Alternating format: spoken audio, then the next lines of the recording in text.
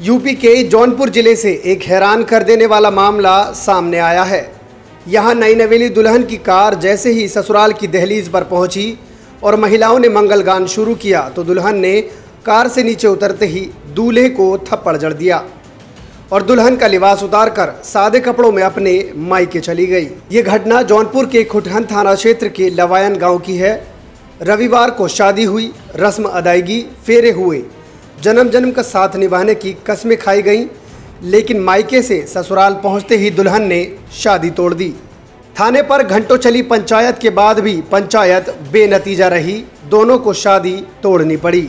लवायन गाँव निवासी एक युवक की शादी खेता सराय थाना क्षेत्र के एक गाँव में 20 जून को तय थी। नियत तिथि को गाजे बाजे के साथ बारात खेता सराय थाना क्षेत्र के गाँव निवासी दुल्हन के घर पहुँची। धूमधाम से विवाह संपन्न कराया गया। दूसरे दिन रविवार की सुबह दुल्हन विदा होकर दूल्हे के घर पहुँची। परिवार की महिलाएँ परछन कर दुल्हन को घर में ले जाने की तैयारी कर रही थीं कि इस दौरान दुल्हन ने दूल्हे को कई थप्पड़ जड़ दिए। पहले तो लोगों ने सोचा कि दुल्हन पर कोई भूत प्रेती बाधा है, इसलिए झाड़ फूक के लिए ओझा भी बुला लिया गया।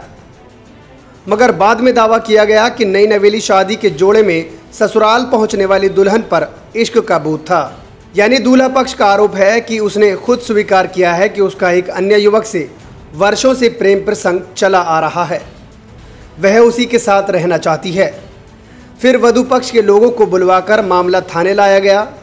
घंटों चली पंचायत के बाद भी दुल्हन राज़ी नहीं हुई। बाद में वह दुल्हन का जोड़ा उतारकर सादे लिबास में वापस अपने मायके लौट गई। अगर दूल्हे पक्ष का आरोप सही है तो दुल्हन को ये फैसला सात फेरों से पहले ही ले लेना चाहिए था।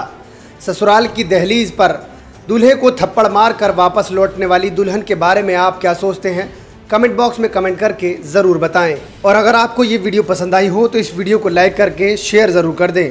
और हाँ इससे पहले हमने आपको एक वीडियो शेयर की थी, जिसमें ये बताया गया था कि कैसे प्रेमिका के गर्भ में पल रहा था। प्रेमी के दादा का बच्चा जिसे वो बेटा समझ रहा था, वो प्रेमिका चाचा निकला।